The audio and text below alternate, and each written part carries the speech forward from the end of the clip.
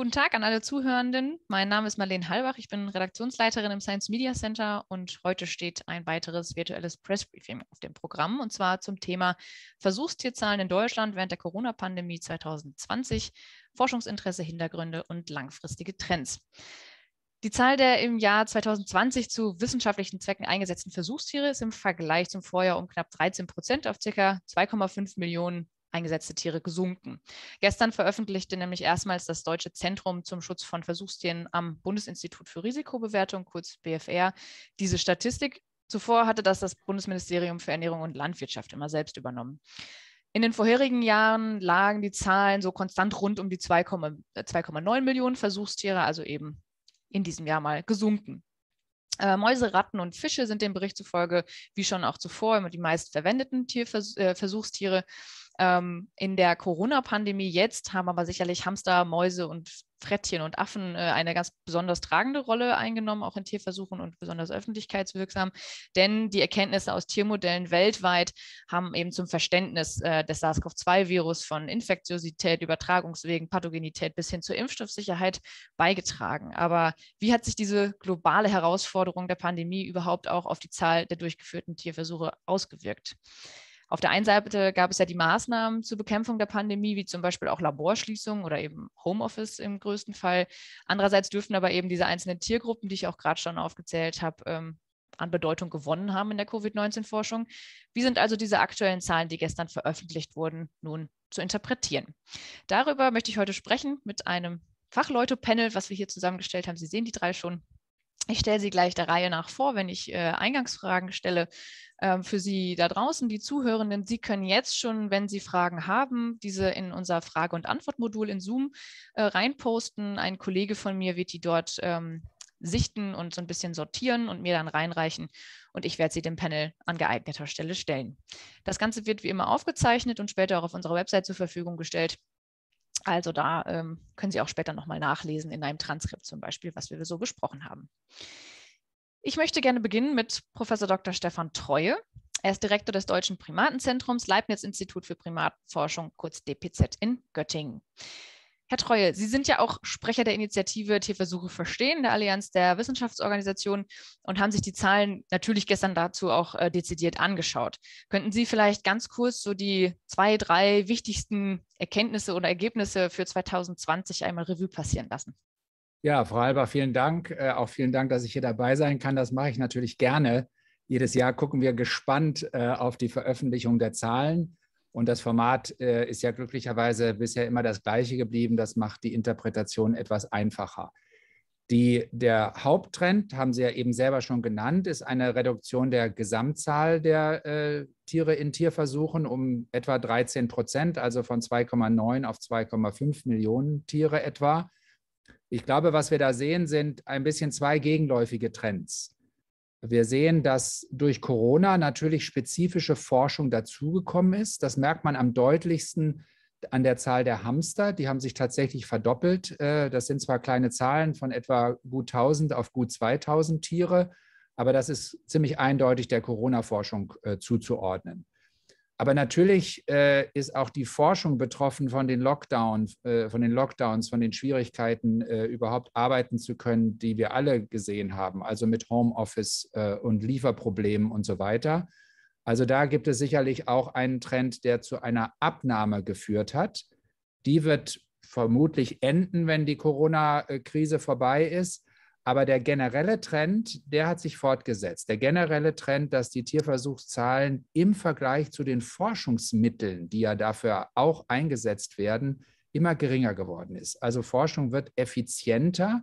Wir haben gerade in dem Jahr 2020, über das wir ja heute reden, einen starken Zuwachs an Forschungsmitteln gesehen für die biomedizinische Forschung aus sehr naheliegenden und wichtigen Gründen.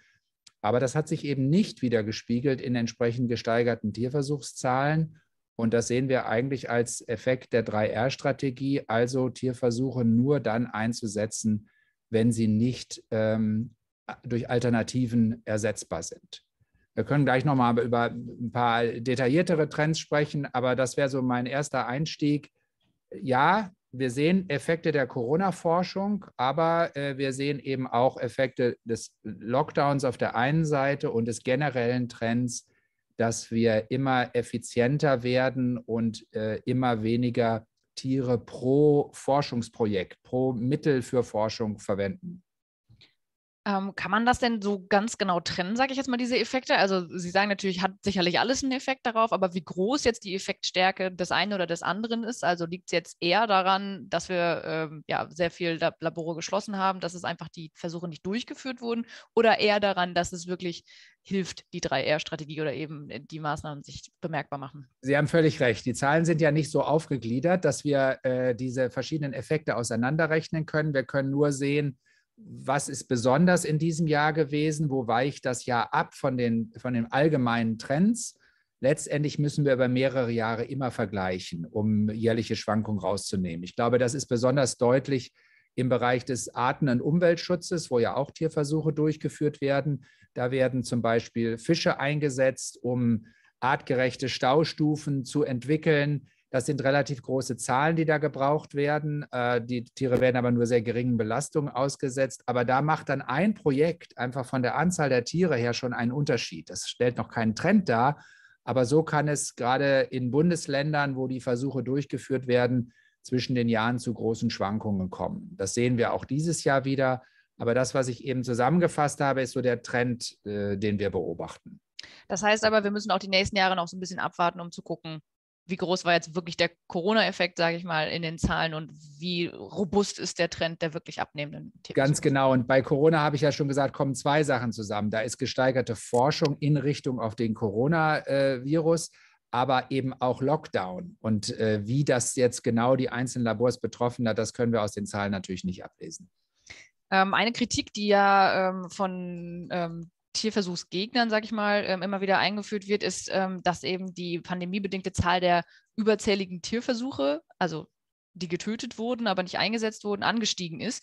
Ähm, ist es damit eingerechnet eigentlich? Also das heißt, wenn wir jetzt zum Beispiel eine, sagen wir mal, eine schlechtere Versorgung der Versuchstiere gehabt hätten durch einen Lockdown, weil die Menschen einfach nicht sich um die Tiere hätten kümmern können, die wurden euthanasiert, sind die dann quasi abgerechnet oder wie genau muss man die Zahlen da interpretieren? Also dafür gibt es separate Zählweisen. Das ist ja alles von der EU vorgeschrieben. Und die Zahlen, die wir uns jetzt anschauen, das sind sowohl Tiere, die tatsächlich in einem Versuch im klassischen Sinne waren, aber das ist die deutsche Zählweise, auch die, die ohne Versuchseingriffe, aber für wissenschaftliche Zwecke getötet wurden. Wir haben ja gerade in der Entwicklung von Alternativverfahren oft den Bedarf, Zell, Zellen zu gewinnen, Organe zu gewinnen, Gewebe zu gewinnen, als Grundlage auch für tierversuchsfreie Methoden. Und diese Tiere sind, sind mit reingerechnet in Deutschland. Aber die Zuchttiere, die nicht in, die, in der Forschung eingesetzt sind, das ist eine separate Zählung. Okay. Da würde ich erstmal weitergeben dass wir die Runde hier auch komplettieren können. Äh, Im zweiten würde ich gerne Professor Dr. Martin Bär vorstellen. Für die Frau am Ende tut es mir jetzt schon leid, aber inhaltlich passt das einfach besser. er ist Leiter des Instituts für Virusdiagnostik am Friedrich-Löffler-Institut, dem Bundesinstitut für Tiergesundheit in Greifswald auf der Insel Riems. Ähm, ich würde Sie gerne fragen. Herr Treuer hat, ja, gerade schon auf die Hamster angespielt, die sich ja verdoppelt haben jetzt in den äh, eingesetzten Versuchstierzahlen. Ähm, können Sie vielleicht ähm, einmal erklären, warum sich diese, äh, diese Nager denn jetzt so gut eignen ähm, für die Covid-Forschung? Also da der Stand der Dinge zu den Tiermodellen und gerade bezogen auf den Hamster, der ja wirklich eine besondere Rolle eingenommen hat. Ja, kann ich, kann ich gerne machen. Ich bin auch froh, hier dabei zu sein und mitzudiskutieren. Äh, wir machen ja solche Versuche. Also wir haben tatsächlich jetzt eine ganze Reihe dieser Tiermodelle hier auch äh, durchgeführt. Und es ist so, dass für SARS-1, nenne ich es jetzt mal, also das ursprüngliche SARS 2003, schon der Hamster als empfängliches Tier beschrieben war. Aber wie das neue Virus kam, SARS-CoV-2, war nicht klar, wie ist das Wirtsspektrum. Und im Grunde haben sofort im Januar, Februar die ersten Überlegungen begonnen und dann auch die ersten Arbeiten, das herauszufinden, was sind denn eigentlich gute Tiermodelle. Also die WHO hat auch dort sehr, sehr schnell reagiert, hat eine äh, Gruppe ins Leben gerufen, äh, WHO Animal Group, die sich jeden Donnerstag um drei trifft und das jetzt schon seit mehr als anderthalb Jahren. Und dort bespricht auch untereinander, welche Tiermodelle sind jetzt tatsächlich geeignet. Und wir haben initial deswegen in mehreren Gruppen, und da waren wir auch dabei, verschiedene Tierspezies infiziert. Und äh, uns als Institut, äh, das mit dem Landwirtschaftsministerium eng verbunden ist, hat uns natürlich auch interessiert, was ist mit landwirtschaftlichen Nutztieren. Das war so eine Seite und dann Tiermodelle. Und da hat sich sehr schnell herausgestellt, dass der Hamster ein äh, sehr gutes Modell ist. Er vermehrt das Virus sehr gut. Also wir nennen den Hamster schon fast Superspreader, weil er in, in kürzester Zeit sehr, sehr hohe Viruslasten in der Nase produziert, aber eben auch Infektion der Lunge. Und im Gegensatz zu anderen Modellen, es gibt ja die Transgen-Maus-Modelle, die auch sehr interessant sind, die sind aber durchaus in manchen Punkten artifiziell. Da geht das Virus ins Gehirn, dann muss ich die Maus euthanasieren. Das ist ein sehr äh, dann auch krankmachendes Modell. Das ist beim Hamster so, dass das eher der natürlichen Covid, des natürlichen Covid-Verlaufes zumindest zum Teil entspricht mit der Lungenbeteiligung. Und deswegen hat sich das Modell, das ist jetzt auch so akzeptiert, für viele Fragen durchgesetzt. Der Goldhamster war jetzt nicht das Standardversuchstier für viele. Äh, und deswegen sind diese Zahlen zu erklären, warum das plötzlich tatsächlich von den niedrigen Zahlen zu einer Verdopplung führt. Immer noch niedrige Zahlen. Und ich kann es auch bei uns sagen, wir haben kaum mit Hamstern gearbeitet und haben jetzt die letzten zwei Jahre tatsächlich äh, deutlich mehr äh, im Hamstermodell bearbeitet. Ist das dann eigentlich eine Herausforderung für solche Institute, die sonst eher, eher keine Erfahrung mit dem Tier haben, dann so schnell umzuswitchen, weil man merkt, oh, das funktioniert klasse, äh, jetzt müssen wir die Haltungsbedingungen ändern? Ist das ja. eigentlich herausfordernd? Es gibt ja da strenge Vorschriften und das ist für den Hamster alles gut festgelegt. Also der Hamster war überhaupt keine Herausforderung. Das muss ich sagen, der Hamster ist nicht das äh, komplizierte Versuchstier. Wir haben ja auch Versuche gemacht mit Flughunden, mit Schweinen, mit Rindern, äh, mit Rötelmäusen, einfach um das Wirtspektrum festzustellen. Das ist eine andere Herausforderung, aber an die sind wir gewöhnt, weil wir ja häufiger mit neuen Viren umgehen und äh, von daher gesehen ist eher die generelle Herausforderung, und das erklärt vielleicht auch, warum die Zahlen jetzt nicht plötzlich drastisch nach oben gehen für SARS-CoV-2-Versuche. Alles, was ich mit dem infektiösen Virus mache, mache ich unter der Sicherheitsstufe BSL 3. Und da gibt es nicht so viele Einrichtungen und je größer die Tiere sind, umso weniger Einrichtungen gibt es. Mit dem Frettchen geht das dann schon, ich glaube, das waren äh, bisher ausschließlich wir, Hamster und Mäuse sind mehrere Einrichtungen, aber das sind sehr aufwendige Versuche. Und deswegen muss man selbst bei den sinnvollen Versuchen nochmal eine Prioritätenliste machen. Also nur sehr ausgewählte Versuche werden dort wirklich durchgeführt und deswegen gehen die Zahlen auch nicht drastisch nach oben. Das geht gar nicht. Das kann, kann man gar nicht durchführen. Man braucht das trainierte Personal. Da kann nicht jeder einfach reingehen und sagen, ich mache jetzt Versuche unter dieser Sicherheitsstufe. Deswegen, wir sind froh, dass wir die Möglichkeit haben. Und wir kriegen auch, ich kann sagen, jede Woche Anfragen, ob wir nicht äh, Arbeitsgruppen unterstützen können. Und äh, ich, wir müssen ganz viel einfach sagen, wir können das nicht, die Kapazitäten äh, gibt es gar nicht. Führt aber natürlich auch zu einer sehr stringenten Auswahl der Versuche und macht auch eine internationale Abstimmung nötig. Also in der, in der WHO-Gruppe wurde wirklich gesagt, da sind 100 Leute etwa drin. Wir treffen uns jede Woche und da wird auch alles, was auch noch nicht publiziert ist, selbst so Aussagen, ich habe vor sechs Tagen diese Mäuse infiziert, äh, das und das kommt heraus und dann kann ich meine eigenen Versuche adaptieren und kann auch sagen, ich mache den nicht. Zum Beispiel beim Rind war klar, wir machen den, deswegen haben das andere nicht gemacht. Also zu dieser Reduktion von Tierversuchen hat das, glaube ich, äh, sehr gut beigetragen und auch zum Herauskristallisieren der besten Modelle.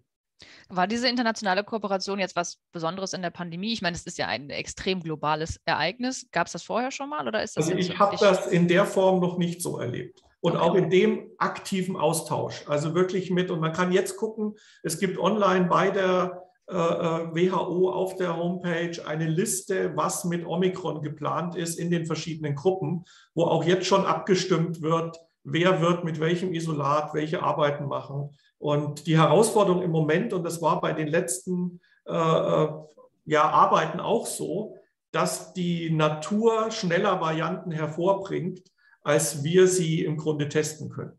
Ja. Also wir laufen dort immer hinterher und auch dort muss man ganz drastisch äh, priorisieren. Und das passiert auch. Glauben Sie jetzt mal so im Blick auf die langfristige Entwicklung äh, der Versuchstierzahlen, dass das ähm, sinnvoll wäre, das für mehrere Bereiche zu machen? Also so eine globalere äh, Netzwerkstruktur aufzubauen, um sich da besser abzustimmen und vielleicht äh, ja, Tierversuche zu vermeiden, die einfach überflüssig sind? Also gerade wenn es darum geht, so neue Herausforderungen anzugehen, finde ich, ist das genau das richtige Format. Für die reine Grundlagenforschung, glaube ich, ist das äh, deutlich schwieriger. Das sind ja auch sehr spezifische, vielleicht noch mehr ins Detail gehende Fragen. Aber für die Grundsatzfragen ist es ganz wichtig.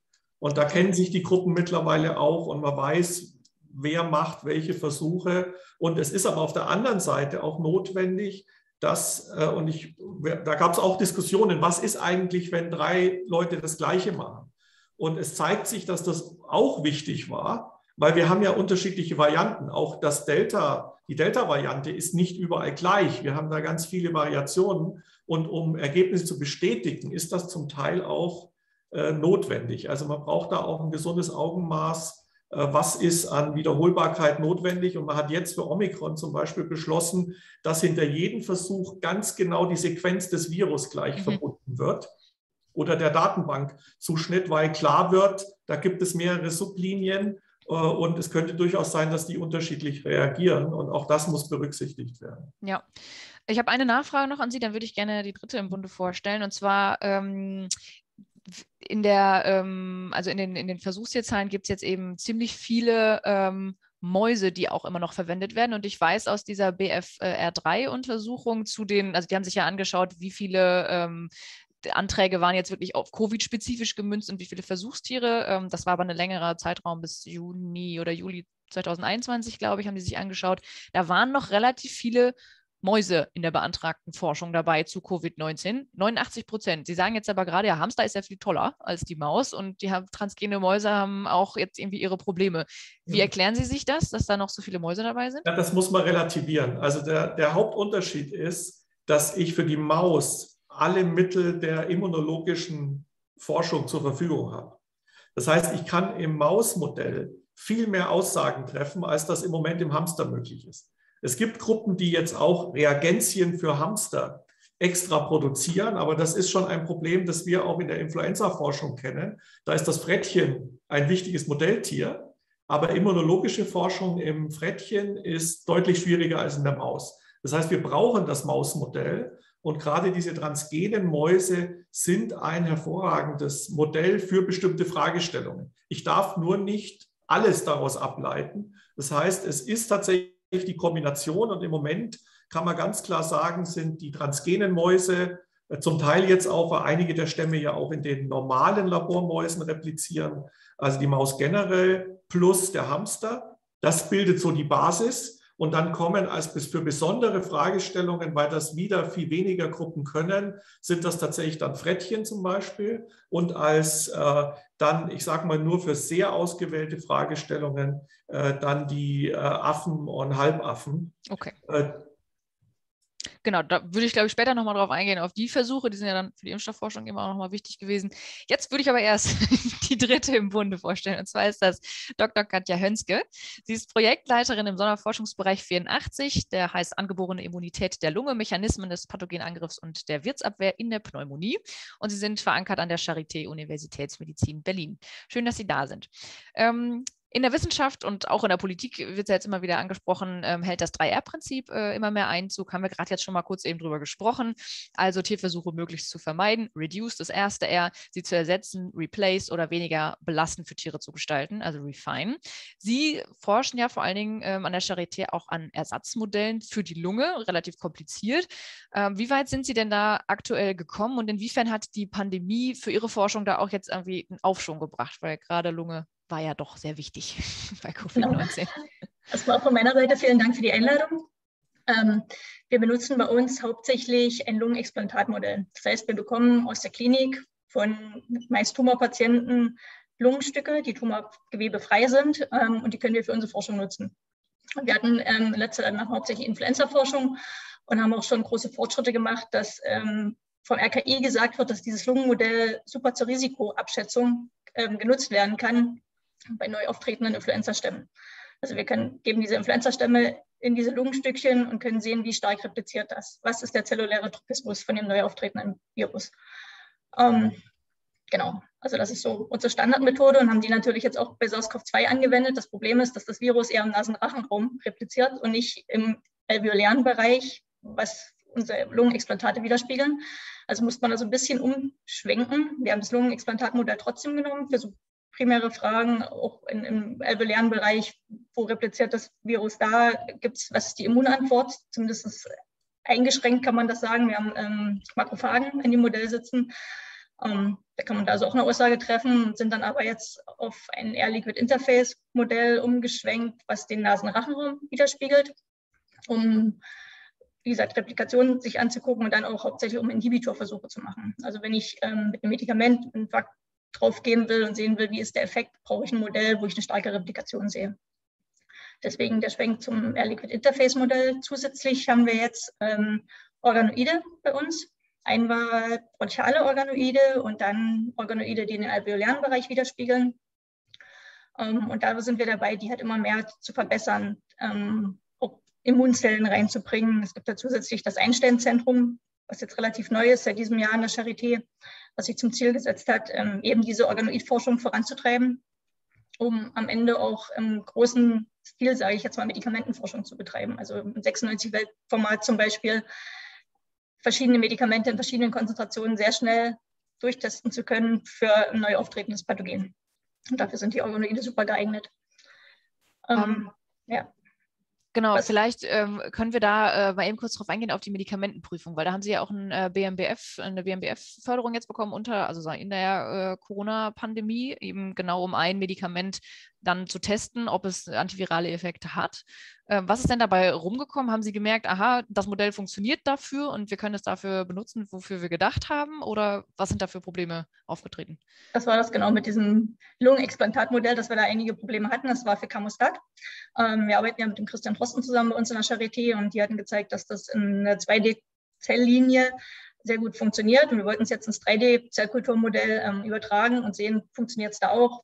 Wie ist die Wirtsresponse, wie bekomme ich antivirale Antworten mit ohne Camostat.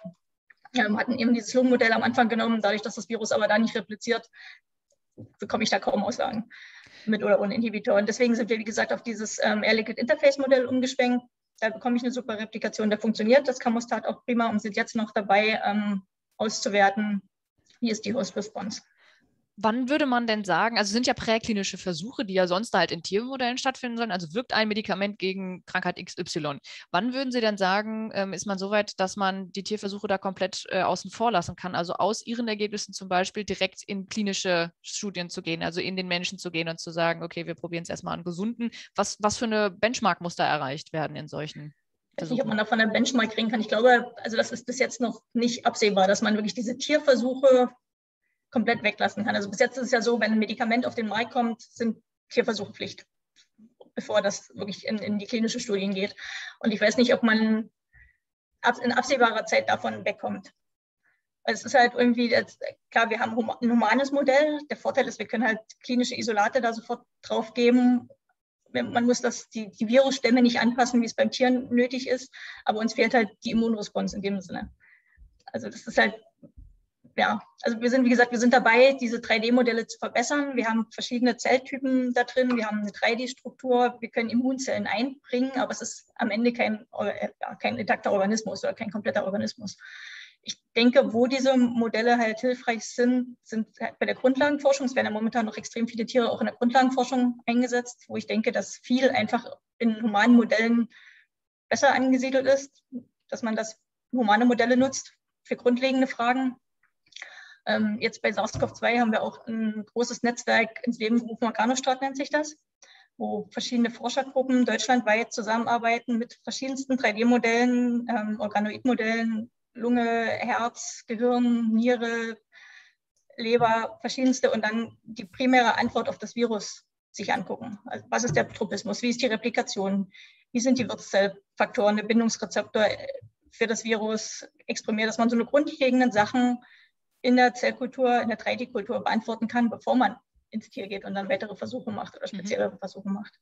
Ähm, eine Frage vielleicht zu Omikron, weil Sie auch gerade meinten, wir können ganz schnell klinische Isolate einfach reinnehmen in diese Modelle. Ähm, inwiefern sind Sie da schon fortgeschritten und haben vielleicht auch schon äh, jetzt die Omikron-Variante irgendwie auf Ihre Modelle aufgebracht? Denn äh, ich weiß nicht, ob ich Ihnen das jetzt noch äh, kurz erklären? Also in, in Hongkong gab es jetzt diese Woche Ergebnisse, die eben die verschiedenen Zelltypen angeguckt haben, also einmal oberer Rachenraum und eben Lunge und haben gesehen, Omikron kann äh, gut im Rachenraum oder sehr, sehr gut im Rachenraum äh, replizieren, aber nicht so gut in der Lunge. Könnten Sie diese Ergebnisse eben quasi äh, vielleicht sogar einschätzen? Haben Sie die gesehen oder könnten Sie die zumindest nachbauen sehr schnell?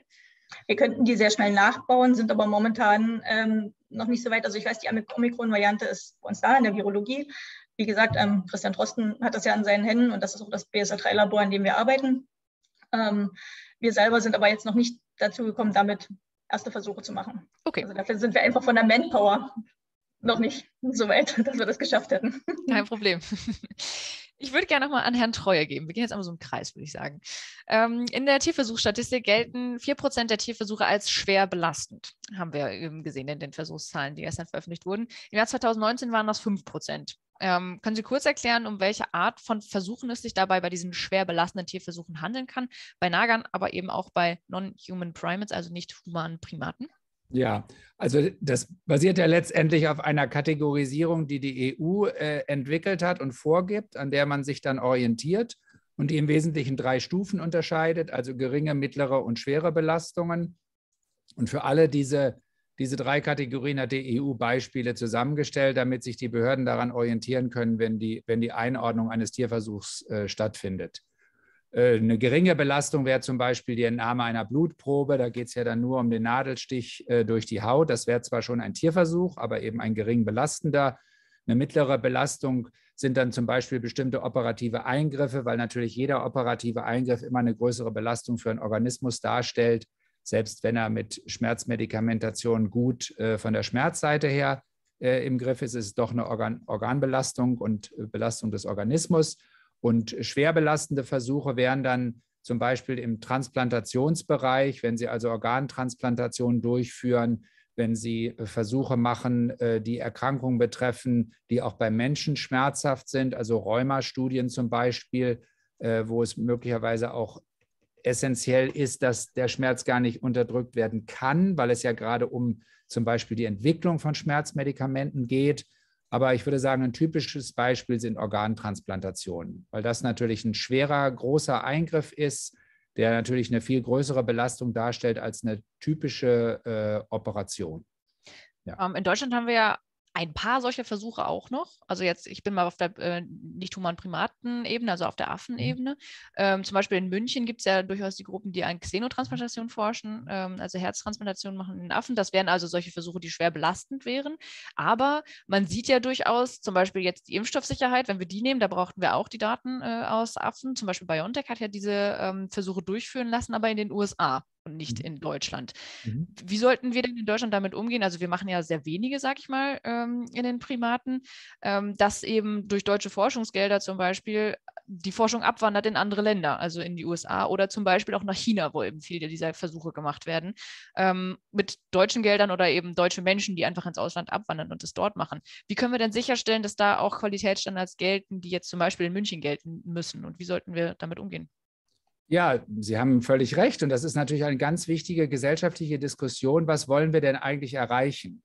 Und es ist völlig klar, wir haben in Europa einheitliche Tierschutzrichtlinien, weil wir als Europa eben auch eine gemeinsame äh, Gesetzgebung und Regulatorik äh, haben. In dem Moment, wo Versuche Europa verlassen, sind sie rechtlich für uns nicht mehr greifbar. Das heißt, die finden dann natürlich nach den Standards dort statt in dem jeweiligen Land. Jetzt heißt das nicht, dass die in völlig rechtsfreiem Raum stattfinden, weil selbstverständlich auch die USA und auch China oder andere Länder Tierschutzgesetze haben, aber möglicherweise nicht unseren äh, Erwartungen da entsprechen. Das muss man sich im, im Einzelfall äh, angucken. Aber ich glaube, aus, aus ethischer Sicht gewinnen wir nichts, wenn Versuche abwandern. Denn die Versuche finden ja nach wie vor statt. Und dem Tier ist es natürlich ehrlich gesagt egal, in welchem Land es in einem Tierversuch ist. Das ändert ja nichts an der Belastung. Ich glaube, wir müssen ein Interesse daran haben, dass die Tierversuche, die wir als notwendig erachten, möglichst in Europa stattfinden, weil sie dann unter den höchsten Standards und unter der besten Kontrolle äh, stattfinden. Manchmal sind es ökonomische Gründe, weil die Kosten natürlich in manchen Ländern vielleicht geringer sind. Aber ich habe zumindest den Eindruck, dass es auch manchmal regulatorische Gründe sind. Das heißt, selbst wenn wir abstrahieren von möglichen zusätzlichen Leiden für die Tiere, ist natürlich der Verwaltungsaufwand, Tierversuche in Deutschland durchzuführen, enorm hoch. Und der trägt natürlich auch zu Entscheidungen von Firmen bei, ob sie Versuche hier oder anderswo machen. Selbst wenn die ethischen äh, Richtlinien dieselben sind, ist natürlich der regulatorische Aufwand für die Administration auch noch ein wichtiger Faktor. Mhm. Und ich glaube, das sehen wir auch. Äh, wir sehen ja, dass bei, bei den regulatorischen Versuchen nicht erst in diesem Jahr einen Abwärtstrend haben. Die werden in Deutschland seltener. Das spiegelt meiner Ansicht nach nicht die weltweite Re Reduktion von regulatorischen Versuchen wider, sondern was wir da sehen, ist ein Verdrängungs, äh, eine Verdrängungssituation, dass diese Versuche zum Teil aus äh, Deutschland und aus Europa abwandern. Denn die, die, der größte Teil der regulatorischen Versuche werden nicht von einzelnen wissenschaftlichen Grundlagenforschenden Abteilungen an Universitäten und außeruniversitären Einrichtungen gemacht, sondern das sind typischerweise Firmen. Die Firmen sind international unterwegs und die können relativ leicht sagen, wir verlagern diese hochstandardisierten Versuche woanders hin, wo der bürokratische Aufwand und vielleicht auch die äh, behördliche Kontrolle geringer ist. Das kann nicht in unserem Sinne sein. Danke dafür. Ähm, Mit 3R auch nichts zu tun. Also das will ich ganz, ganz ja. klar betonen. Wir alle haben ein Interesse daran, Tierversuchszahlen zu reduzieren. Aber wenn wir die dadurch reduzieren, dass wir sie woanders hinschicken und nur noch in Deutschland zählen, dann haben wir uns einen Bärendienst erwiesen. Würde ich auch so sehen. Ähm, bei den Tierversuchszahlen äh, ist auch noch rausgekommen, dass die nicht, also zu nichtmenschlichen Privaten, da bin ich jetzt immer noch, mhm. ähm, dass die meisten, ähm, das waren 1384 Javaneraffen, mhm. Ähm, die in Tierversuchen eingesetzt wurden, aus Nicht-EU-Staaten importiert wurden nach mhm. Deutschland. Mhm. Können wir denn da ähm, sicherstellen, dass die zumindest aus zertifizierten Zuchtbetrieben kommen und wie genau läuft dieser Vorgang ab? Ja, das ist ja auch äh, reguliert von der EU. Das, da läuft jetzt noch ein Prozess also ein, ein, ein, regulatorischer Prozess eines Übergangs. Ich fasse es mal kurz zusammen. Also der EU und auch den beteiligten Wissenschaftlern ist es wichtig, dass wenn wir mit Primaten arbeiten, wir nicht den Bestand dieser Tiere in der Natur gefährden. Es gibt ja sehr viele von Primatenarten, die gefährdete Arten darstellen. Da ist es ganz offensichtlich, dass kein Interesse daran besteht, die aus der Natur wegzufangen. Deswegen gibt es bei den Primaten wie ja auch bei den anderen Versuchstieren die gesetzliche Vorgabe, dass die spezifisch für Tierversuche gezüchtet werden müssen. Das gilt auch für die Primaten. Und da geht es sogar so zu sagen, das muss dann eine Zucht sein, die mehrere Generationen nach dem potenziellen Entnahme eines Tiers aus der Wildbahn stattfindet. Die Javaneraffen, die Sie beschreiben, kommen zum Teil zum Beispiel aus Mauritius, wo es nicht um eine ein Mangel, also eine, ein Aussterben der Tiere geht, sondern da gibt es sehr viele von den Tieren. Das ist auch dort behördlich reguliert. Ähm, aber trotzdem gelten auch dort die Regeln. Das müssen spezifisch für Tierversuche gezüchtete Tiere sein. Okay. Die Javaneraffen, wenn Sie jetzt schon von den verschiedenen Arten von Primaten sprechen, die Javaneraffen sind die, die vor allem in der pharmazeutischen Industrie, also bei den regulatorischen Versuchen zum Einsatz kommen. Rhesusaffen ist eine andere Gruppe von Primaten, die finden näher in der akademischen Grundlagenforschung äh, ihre, ihre, ihre Versuche. Aber Sie haben es ja schon gesagt, die Anzahl der Javaneraffen stellt, stellt den absolut größten Anteil bei den Primaten dar, weil bei, in der Primatenforschung die regulatorischen Versuche so eine große Rolle spielen. Frau. Hönske hat es eben ja auch schon erwähnt, ähm, wir, wir müssen zwar nur in kleinen Zahlen, aber sicherstellen, dass bestimmte Tests auch nochmal in Tierarten gemacht werden, die dem Menschen besonders nahe sind, gerade wenn es um sehr komplexe Systeme wie Immunreaktionen und sowas geht. Frau Hönske hat auch, und da rekurriere ich auch nochmal eben auf, auf, das Gespräch gerade, ähm, gesagt, dass äh, vor allen Dingen das in der Grundlagenforschung, ähm, ja, also dass die Grundlagenforschung einfach noch sehr stark ist. Welche Versuche zählen denn zum Beispiel bei SARS-CoV-2, und vielleicht würde ich da an Herrn Bär geben, ähm, als Grundlagenforschung? Also, weil wenn man jetzt in die Tierversuchsstatistik reinguckt, ist es ja so, dass vor allen Dingen da ein großer Zuwachs da war und gar nicht in der translationalen Forschung, von der man jetzt denken würde, wenn wir jetzt an, an Experimente wie Frau Hönske denken, Medikamentenwirksamkeit oder so, da, ähm, das wäre ja schon translational, würde ich fast behaupten. Ähm, warum gibt es so wenig translationale Tierversuche in Deutschland und was wäre Grundlagenforschung im Sinne von Covid-19, Herr Bär? Also ich muss sagen, da war am Anfang alles Grundlagenforschung, weil wir überhaupt erstmal Grundlagen schaffen mussten. Und wenn ich mir meine eigenen Tierversuchsanträge ansehe, dann ist, selbst wenn wir eine Vakzine testen, äh, ist das auch Grundlagenforschung, weil wir natürlich in den Versuchen immer versuchen, so viel Information wie möglich auch für Grund Grundlagenfragen mit zu beantworten. Weil das kann ermöglichen, dass ich den nächsten Versuch gar nicht machen muss. Also ich teile das nicht ein in, ich mache hier nur die Impfstoffwirkung, ob die Tiere überleben und ich schaue mir nicht die äh, Immunantwort im Detail an, sondern ich glaube, die Kunst ist dort so viel wie möglich auch Arbeitsgruppen zu integrieren, dass ein Versuch das Maximum an Ergebnissen liefert. Und deswegen ist das häufig eine Kombination aus Grundlage und vielleicht auch translational. Und nur translational ist dann eher, wenn wir in, die, in das Ende einer Entwicklung kommen, bevor es in die klinische Studie zum Beispiel geht oder äh, solche Dinge. Also ich glaube, das ist ein ganz, ganz wichtiger Punkt. Und ich finde das, was vorhin gesagt wurde zu den Organoiden, ich finde das extrem wichtig für die Vorselektion, zum Beispiel auch von Substanzen. Also ich brauche da nicht zehn Versuche, um zehn Substanzen zu testen, sondern die, die im In-vitro-Modell das beste Ergebnis liefert, das ist das, was dann für den Tierversuch ausgewählt wird. Und wir haben uns sehr viel versprochen von auch den äh, Kulturen, den Nasenkulturen oder aus den Lungenkulturen, um Tierversuche einzusparen. Und das war am Anfang dann tatsächlich so, dass es schwierig war. Also weder die Zellkultur noch diese Kulturen haben uns zum Beispiel Aussagen gegeben, ob die ersten Stämme wie Wuhan und dann später Delta, was ist denn jetzt wirklich besser replikativ? Während das im Tier dann doch deutlich geworden ist. Also man kommt da auch an Grenzen, aber ich glaube, wir, da wird man immer besser. Also mit den Organoiden sehe ich schon, dass wir besonders in diese Vorauswahl gehen können. Und das, was Sie angesprochen haben aus Hongkong, das ist sehr, sehr spannend, weil wenn sich das so bewahrheitet, dann kann es sein, dass wir äh, sehr wenig Tierversuche machen, weil wir in vitro schon einen so starken Unterschied sehen, dass man viel besser selektionieren kann. Mhm. Ähm, ich würde gerne nochmal auf das Thema, ähm, oder Herr Treuer, Entschuldigung, Sie hatten sich gerade gemeldet. Ich wollte nicht, äh, haben Sie noch Ich Punkt? wollte nur nochmal unterstreichen, weil Sie so spezifisch nach diesen Kategorien gefragt haben, dass äh, das natürlich vorgegebene Kategorien sind und die spiegeln nicht wirklich die Realität in dem Sinne wider, wie Herr Beers ja eben auch schon gesagt hat, dass Sie den meisten Versuchen gar nicht eindeutig so eine Kategorie zuordnen können weil fast alle Versuche Aspekte von beidem haben. Sie sind mit einer Perspektive auf Translation gedacht. Sie müssen aber erstmal Grundlagenfragen klären. Umgekehrt äh, ist natürlich kein äh, Versuch, der dann den letzten Schritt darstellt, ohne die vorhergehenden Versuche denkbar.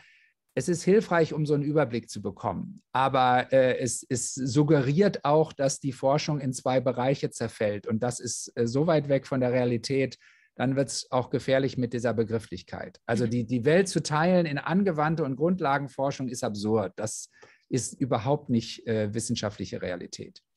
Frau Hönske, würden Sie das äh, unterstreichen und ähnlich sehen? Und wie könnte man denn so an der regulatorischen Ebene noch weiter feilen, dass man da die Tierversuche vielleicht weiter reduzieren könnte? Weil Sie nehmen ja doch noch einen größeren Teil ein. Können Sie da vielleicht noch mal kurz drauf eingehen? Kam auch eine Frage. Also bestimmt schon mit Grundlagenforschung. Also ich war jetzt, wie gesagt, bei diesem, wie bei diesem Organostrat-Projekt, dass man diese, diese grundlegenden Fragen nach dem Tropismus zum Beispiel klärt. In welchem Organ, in welcher Zelle repliziert das Virus? Wie repliziert das? Das, wäre, das ist jetzt von meiner Laborsicht Grundlagenforschung, wo ich sage, das ist halt was, was man super in Organoidmodellen machen kann. Dieses Organostrat-Projekt beinhaltet halt Organoide von allen möglichen Organsystemen. Da wirft man das Virus drauf und dann hat man ein ganz breites Panel von Aussagen. Und man sagt, da muss ich jetzt kein Tier dafür töten, das kann ich super da machen und dann kann ich weiter ins Tier gehen und sagen, okay, ich gucke mir jetzt ein äh, bestimmtes Organ genauer an ähm, oder eben die Immunresponse und so weiter. Das war jetzt, wie gesagt, meine Auffassung von Grundlagenforschung. Wie gesagt, es gibt so bestimmte Sachen, die kann ich erstmal in der Zellkultur klären. Und wenn ich das dann weiß, kann ich mit dem Tier in die Tiefe gehen. Genau. Ähm, ich würde gerne noch mal eine Frage von außen stellen, und zwar geht die an Herrn Treue. Die großen Wissenschaftsorganisationen sagen, dass Studien mit Tierversuchen durch ein strenges Prüfverfahren gehen und darum nur diejenigen durchgeführt werden, die wirklich notwendig sind. Einige Forscher sehen das für ihren Bereich jedoch differenzierter und finden etwa die Maus als Modellorganismus für die Medikamentenforschung eher ungeeignet. Gibt es hier also womöglich doch Tierversuche, die nicht nötig wären? Und falls ja, haben Sie dazu Anzahlen und Prozentzahlen, was für einen äh, ja, großen Anteil das einnimmt? Das ist eine Frage von außen, die ich vorgelesen habe. Ja, kann ich, kann ich gern darauf eingehen, weil es eigentlich relativ äh, deutlich ist. Also es ist ja nicht eine Behauptung von Wissenschaftsorganisationen, dass es ein strenges Prüfverfahren gibt. Das ist eine gesetzliche Vorschrift, äh, die ja auch in Europa wirklich äh, nach dem Buchstaben des Gesetzes eingehalten wird. Das heißt, es beruht nicht auf der auf der reinen Annahme irgendwelcher äh, Wissenschaftlerinnen oder Wissenschaftler, dass eine Maus geeignet ist und dass es keine Alternativen gibt, sondern das muss ja tatsächlich nachgewiesen werden. Also natürlich ist die Maus nicht immer ein geeigneter Modellorganismus. Und natürlich ist die Maus auch praktisch nie der einzige Modellorganismus. Ich glaube, das ist ja aus dem, was wir gesagt haben, immer wieder klar geworden. Es findet ja typischerweise eine Kaskade statt. Es gibt Organoide, es gibt Organmodelle, es gibt Zell andere Formen von Zellkulturen, es gibt Computermodelle. Alle die werden ja eingesetzt, denn zum Teil sind sie effizienter, schneller, preiswerter, einfacher in der Umsetzung. Warum würden, warum würden wir die nicht äh, verwenden? Aber genau wie die Mäuse als Modellorganismen ihre Grenzen haben, hat ja Frau Önske eben auch erläutert, hat natürlich auch jedes Organoid seine Grenzen. Und deswegen brauchen wir diese Mischung äh, an Methoden. Also die Aussage, dass es ein strenges Prüfverfahren gibt, die stimmt. Und äh, deswegen kann man auch nicht sagen, wie viel Prozent der Tierversuche äh, sind ungeeignet, weil dann hat, dann hat das gesamte System versagt. Das gesamte System ist darauf abgerichtet, herauszufinden, dass ein Tierversuch nur genehmigt wird, wenn er geeignet ist. Natürlich kann es Überraschungen geben oder äh, es stellt sich etwas als Nachhinein ungeeignet heraus. Aber zum Zeitpunkt der Durchführung des Versuches muss klar sein, das ist ein guter Ansatz, gegeben den Stand der Wissenschaft und Technik, um die Fragestellung zu beantworten. Mhm. Und äh, wo die Maus nicht mehr geeignet ist, äh, vorhin haben wir über Frettchen oder Hamster geredet, wir haben über Primaten geredet, gibt es natürlich andere Tiermodelle und auch da gibt es keine generelle Aussage. Also ob ein bestimmter Virus jetzt in der Maus als Modellorganismus besonders gut untersucht werden kann, das hängt vom Virus ab. Das hängt sogar von der Maus ab. Das hängt von der Frage ab, ob das eine transgene Maus oder eine nicht transgene Maus ist und so weiter. Ja. Also diese Aussage kann ich so nicht äh, unterstützen, dass es eine Prozentzahl und schon gar nicht eine messbare Prozentzahl von ungeeigneten ähm, Tierversuchen gibt. Herr Bär, wollen Sie dazu noch Ach, was ergänzen? Ich hätte auch noch eine Frage. Nein, weil wir jetzt mit der ja. SARS-CoV-2-Situation genau immer wieder in diese Frage durchaus kommen. Äh, verändert sich das Virus zum Beispiel so, dass es in Richtung äh, stärkere Bindung an den Humanrezeptor geht oder weniger? Dann ist plötzlich die transgene Maus, die den humanen Rezeptor hat, plötzlich das System, das überhaupt das nur noch abbildet. Also das ist schon so, dass die Dynamik, die wir jetzt gerade beobachten, genau jedes Mal dieses Hinterfragen auch der Modelle notwendig macht. Und äh, man wird dann nicht, wenn sich ein Modell als nicht geeignet herausgestellt hat, damit weitermachen, sondern da ist dann auch wichtig, dass der Erste sagt, oh, das geht gar nicht mehr. Und dann wird auch äh, das nicht mehr weitergemacht. Weil keiner wird auch äh, das dann in die Richtung verfolgen, wenn er schon weiß, das funktioniert nicht mehr. Aber das äh, ist einfach so, dass das ein ständiges äh, Nachjustieren äh, sein muss. Und das fragen die Behörden auch ab. Also wir haben zum Teil eben auch Versuche, wo ich den nächsten erst machen darf, wenn die Ergebnisse des, Vorhergehenden das auch begründen lassen. Und das, denke ich, ist auch eine sinnvolle äh, Maßnahme. Ich würde vielleicht, Herr Bär, weil Sie müssen auch, glaube ich, ganz, äh, ganz knapp weg um 13 Uhr noch ein Thema aufmachen, was, äh, was viele auch noch bewegt hat während der Corona-Pandemie. Ganz kurz zu Ihnen nur. Ähm, tierische Reservoirs von SARS-CoV-2.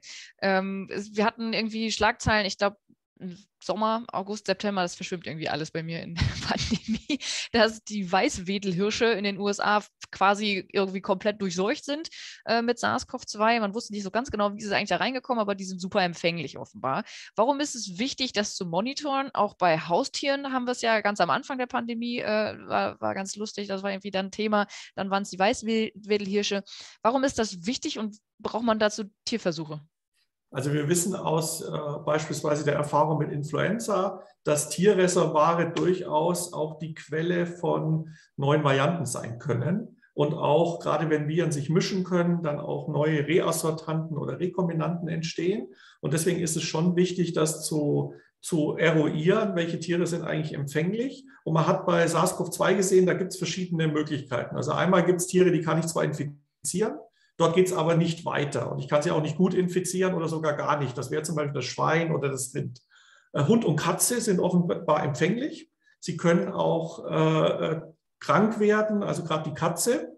Aber auch dort war es so, dass wir aufgrund der Studien gesehen haben, das ist in der Regel eine Anthropozoonose. Das heißt, der Mensch infiziert das Tier und dann passieren aber keine weiteren Ausbreitungen. Wir haben auch keine Tierheime, die plötzlich ganz viele infizierte Tiere haben. Es gibt ein paar Zoos, wo die Großkatzen positiv sind oder auch die Menschenaffen, aber auch dort in der Regel der Mensch infiziert das Tier. Und dann haben wir das Beispiel Nerze, sehr eng gehalten, in einigen Ländern noch möglich, in Deutschland nicht. Und dann haben wir plötzlich Tausende von Tieren.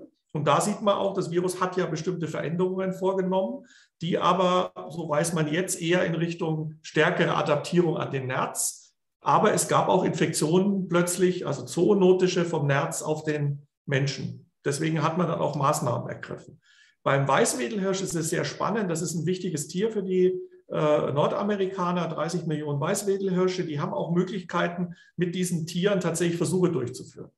Und bevor diese Durchseuchung bekannt wurde, gab es bereits ein Experiment. Und dort haben die gesehen, diese Tiere sind hochempfänglich.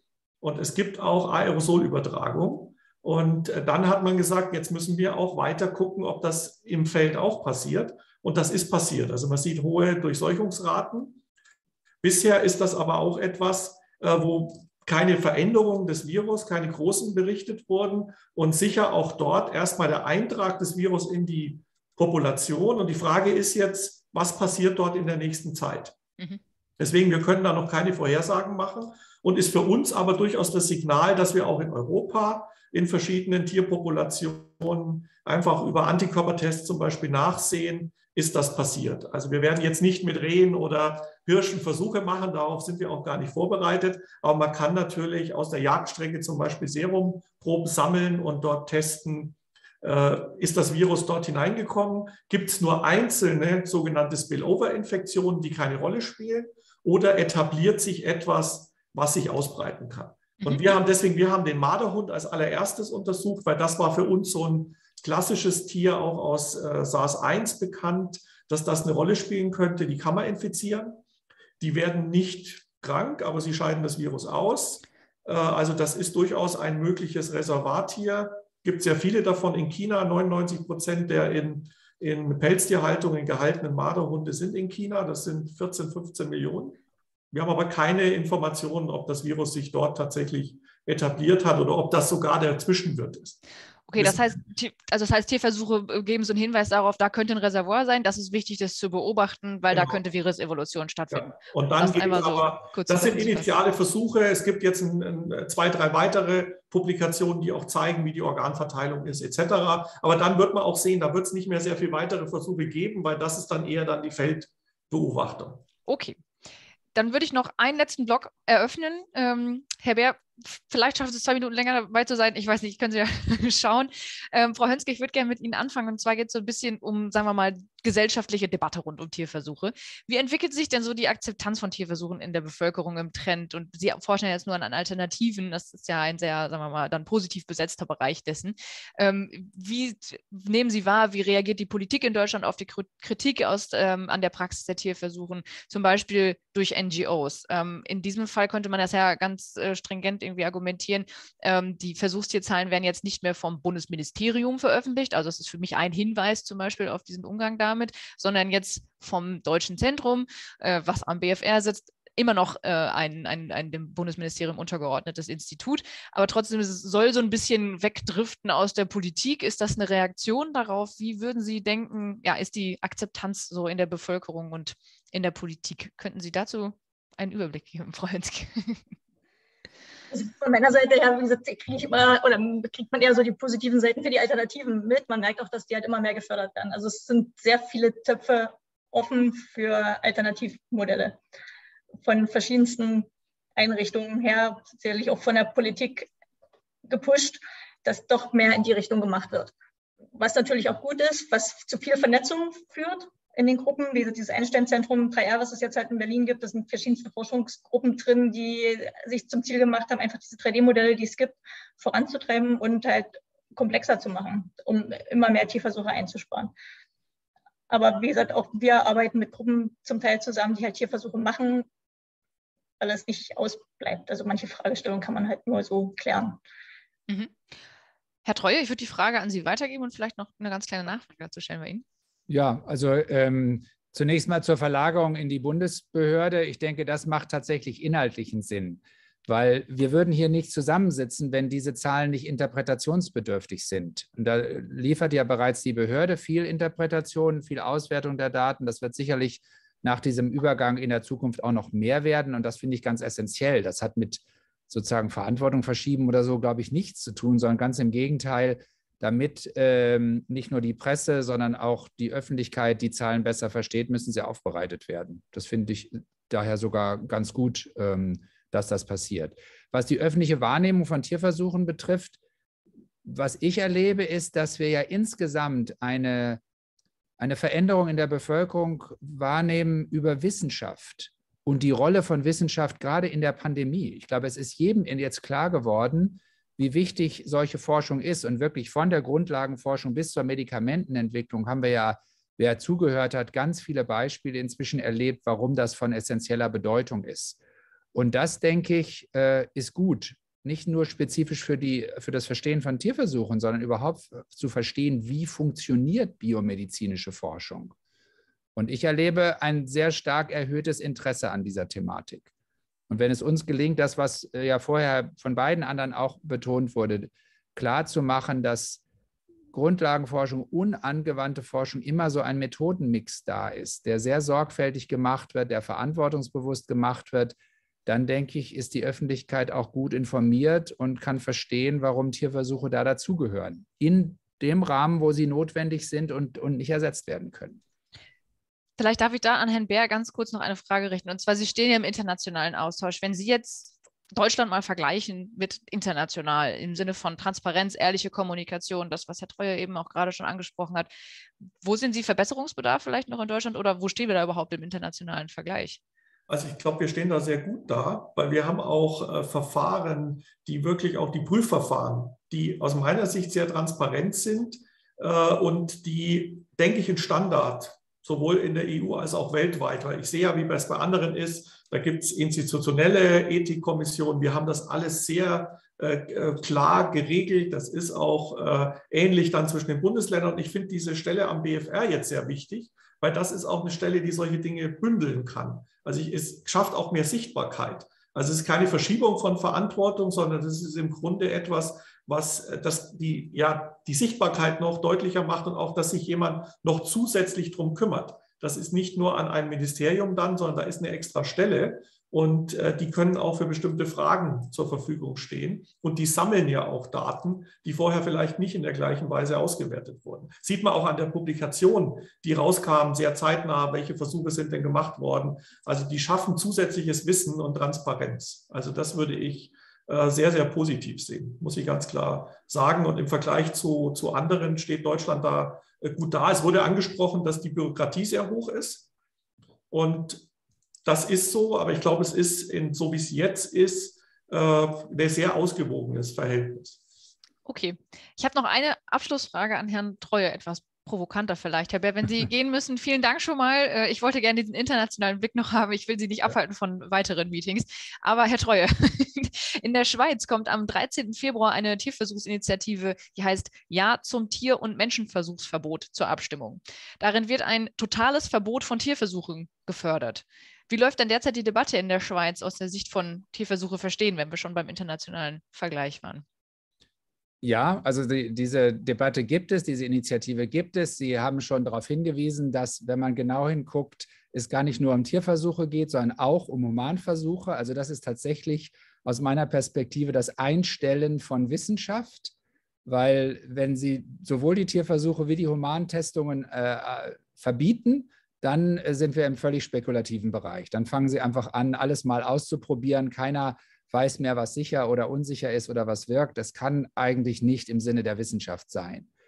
Wie in vielen solchen Debatten ist äh, das natürlich oft geprägt von kleinen Gruppen, die aber sehr lautstark auftreten. Das sehen wir auch in der Schweiz, das äh, kennen wir aus ganz anderen Themen, auch, äh, auch in Deutschland.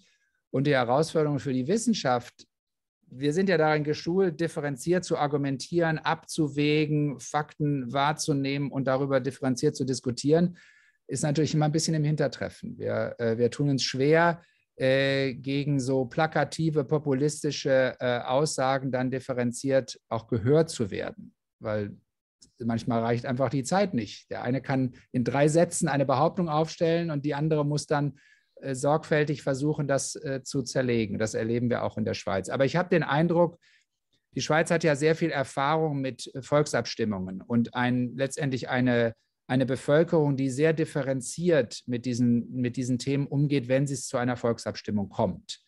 Und äh, da haben wir schon oft erlebt, dass die am lautesten agierenden Initiativen nicht die sind, die nachher eine Mehrheit in der Bevölkerung gefunden haben. Ich kann mir nicht vorstellen, dass bei diesem Thema äh, so etwas Erfolg hat, weil das ist an Absurdität, ehrlich gesagt, kaum zu überbieten, äh, Wissenschaft abzuschalten äh, in jeder ihrer Form, wenn es um die Biomedizin geht. Vielen Dank. Ich finde, Aber vielleicht noch ja. ein, ein, ein, ein anderer Aspekt, weil Sie sagen international. Das geht oft unter, auch in der deutschen Debatte. Wenn Sie sich die europäischen Zahlen anschauen, also wie viele Tierversuche pro Kopf der Bevölkerung, sonst könnten wir ja Länder nicht vergleichen, in mhm. Europa durchgeführt werden, dann ist Deutschland sehr effizient. Also wir führen pro Kopf der Bevölkerung wenige Tierversuche durch, weniger als die meisten anderen forschungsintensiven Länder in Europa. Und ich glaube, das ist das, was wir heute auch in den Zahlen für 2020 sehen. Ein sehr verantwortungsbewusster Umgang mit Tierversuchen. Da, wo sie notwendig sind, machen wir sie auch auf hohem Niveau. Aber da, wo wir darauf verzichten können, können, können wir auch Alternativmethoden und anderes einsetzen. Vielen Dank. Ich würde gerne an dieser Stelle äh, das Pressbriefing gerne einmal beenden. Das war eine Wahnsinnsdiskussion, finde ich. Vielen, vielen Dank. Wir wollten ja auch so ein bisschen dazu beitragen, transparent über diese Zahlen zu diskutieren. Wir haben gerade besprochen, wie wichtig das eigentlich ist, auch in der Öffentlichkeit. Vielen, vielen Dank, dass Sie drei diese Möglichkeit dazu eröffnet haben, darüber zu diskutieren.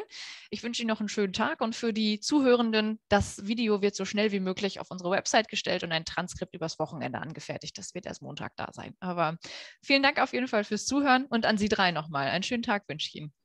Vielen, Dank, Frau Halbach. Gerne. Tschüss. Ja.